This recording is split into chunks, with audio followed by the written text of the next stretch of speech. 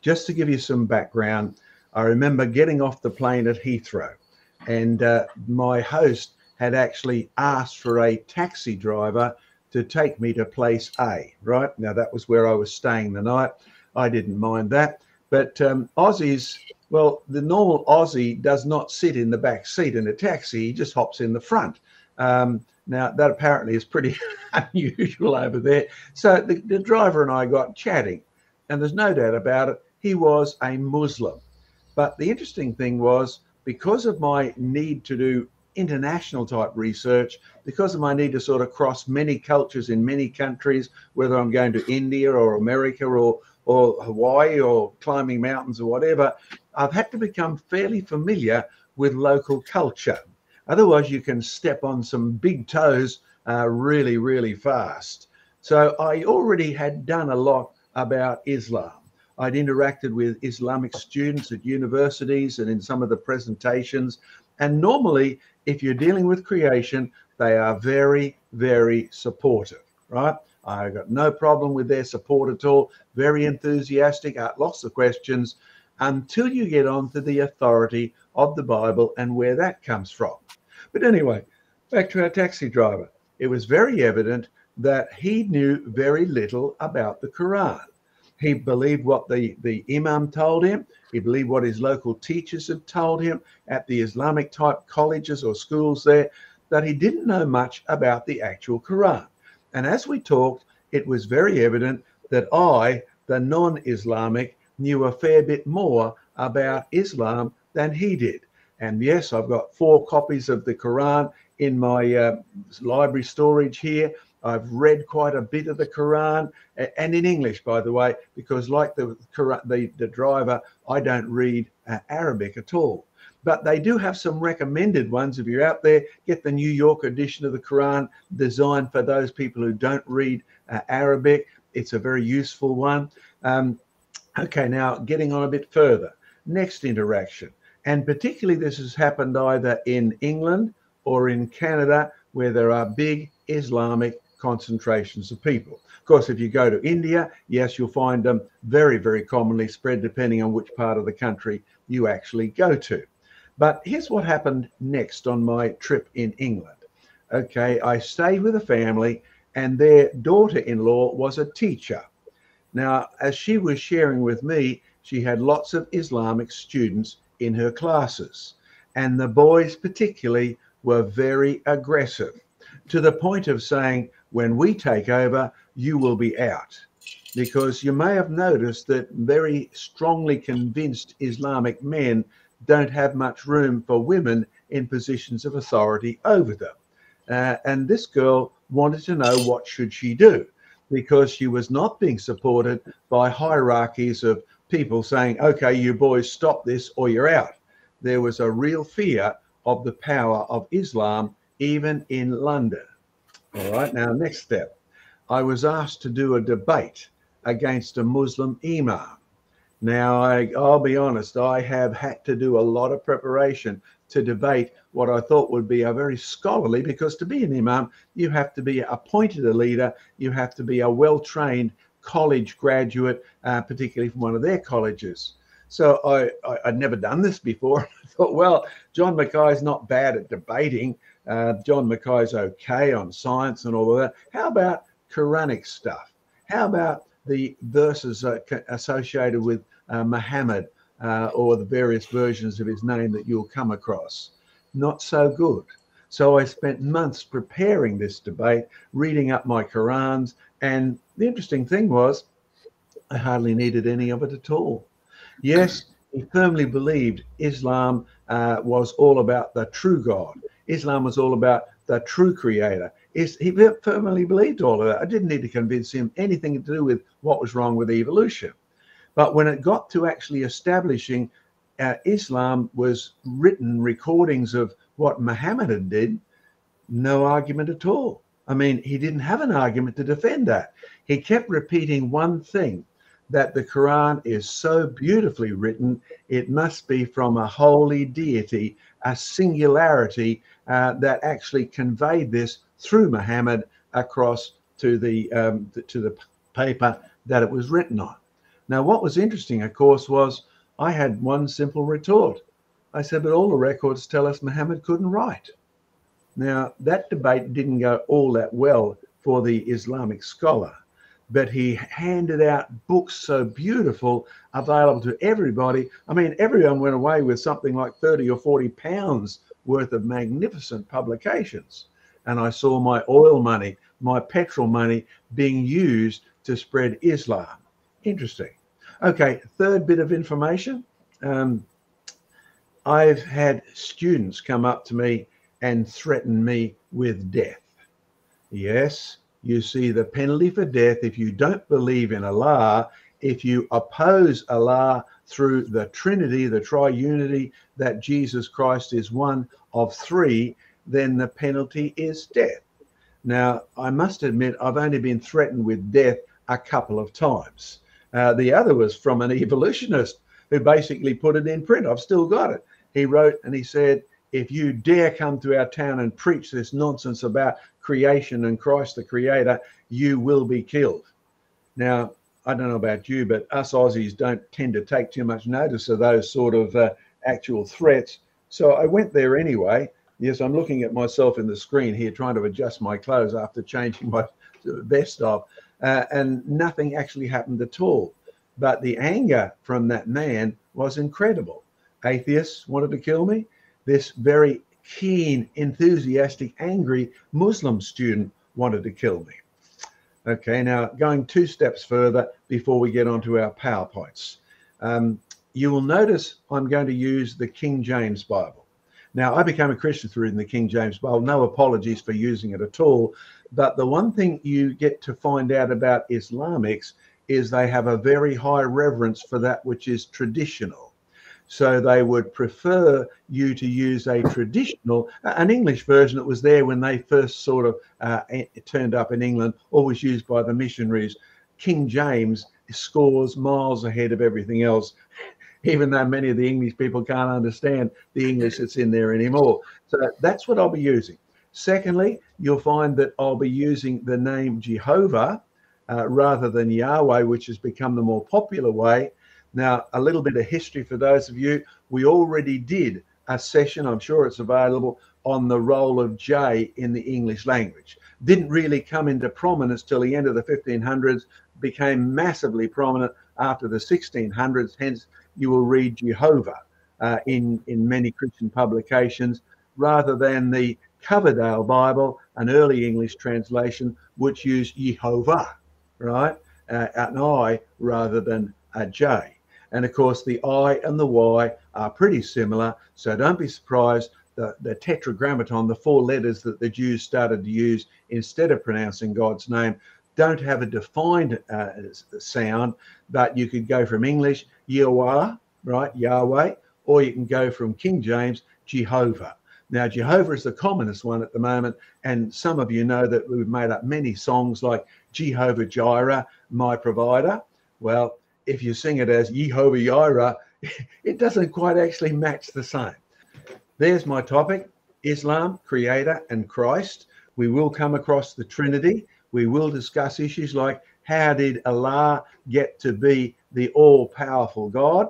And I'm going to do it in a couple of bites this one first. I'll do one bite, then we'll hand over to Craig on the history of Allah as a God or as a believed God. Take your pick. Okay. There's what you come across. Craig will deal more with this. There is no God but Allah, and Muhammad is. Can you finish it off? Most people in the West can finish it off because you hear it so often these days.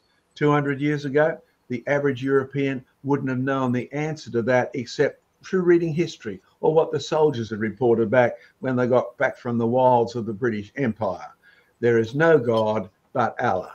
Oh, there is Surah chapter 5, verse 73. Surah is like a chapter, right? Uh, each of these is an individual revelation um, to Muhammad, is the claim, and there is no Allah except one Allah. Now, you see the word, oh, oh, you said in English, there is no God except one God, Allah okay, Allah and Allah are basically the same word. And if you look up your Bible, you will find Allah is the word used by King Nebuchadnezzar. he called Daniel's God Allah. It's an old word and it means God. And now it's become a name, and Craig's going to talk about that. Okay, there is no God but Allah, and Muhammad is his prophet. Now, why would they call Muhammad his prophet? The answer is very simple. Um, Deuteronomy 18. Yes, Muhammad was familiar with excerpts out of the Old Testament. The Lord your God, Moses is talking, he's talking to the people of Israel. They've left Egypt. The Lord your God will raise up for you a prophet like me. Now, let's be honest. I'm sure you would have been impressed by Moses, even when he came down from the mount and his face was glowing because of the presence of God with him. The Lord your God will raise up for you a prophet like me, one who's known God face to face, a prophet like me from your midst, from your brethren. Now, when you make the claim that your prophet, Muhammad, is the fulfillment of this prophet, you need to be very careful. Uh, the Lord your God will raise up a prophet like me from your midst, from your brethren. Context Moses is talking to the people of Israel. Who are the people of Israel? They're the descendants of Isaac. And, uh, uh, uh, and remember Abraham? Well, Abraham had another set of descendants. Uh, you remember Ishmael, which gave rise to the Arabic people? Now, Ishmael and all of his brothers from Abraham have been fighting from that day to this. The one thing you have to be careful of is that your brethren would not have to include Judah. Judah gave rise to the Jews, and they're fighting still with the Arabs. If your brothers do not include Ishmael, then you can't fulfill. Uh, I mean, if your brothers do not uh, include Judah, you can't be one of these one of these people like Muhammad claims to be. And it goes on one step further. And the Lord said to me, I'll raise up for them a prophet like you from among their brethren, and will put my words in his mouth, and he shall speak to them all that I command to him. He's going to be a leader. He's going to be a preacher. He's going to be a speaker. He's going to be the voice of God. And it shall be that whoever will not hear my words, we read in Deuteronomy chapter 18, which he speaks in my name, I will hold him accountable. I will hold him to task. I will require it of that person. But the prophet who presumes to speak a word in my name, which I've not commanded him to speak, or who speaks in the name of other gods, that prophet shall die. Now, in other words, if you claim to be this prophet, if you claim to be any prophet of the Most High God of the people of Israel in Deuteronomy, as Moses is delivering them out of Egypt, the whole of Israel is being brought out of Egypt. They're being given a prophecy about a future leader who will be like Moses, He'll be a descendant, therefore, of Abraham, but not via Ishmael. Now, do you realize the conflict we've got here? If this prophet is not from Abraham via all the people of Israel, then this prophet is a false prophet.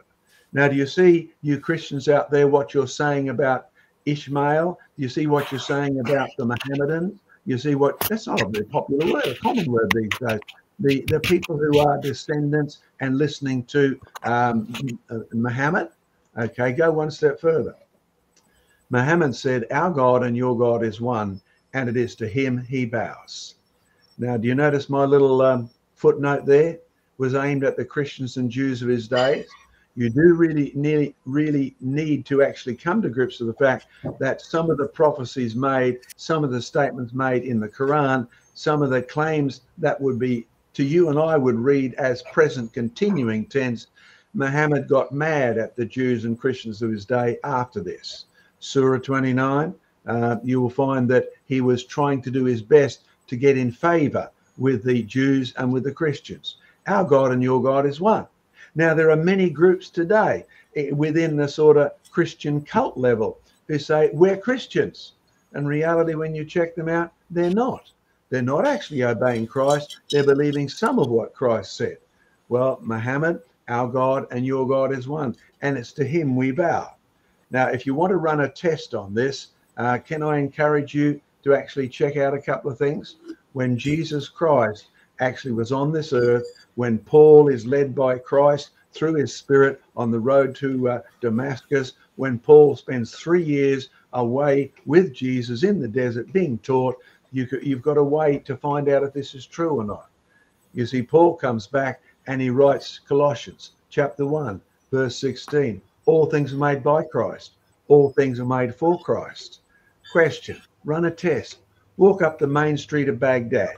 Here's what you're going to shout We believe God is the creator. Use the Middle Eastern words like some of the churches do. Some of the churches actually use the old word Allah for God.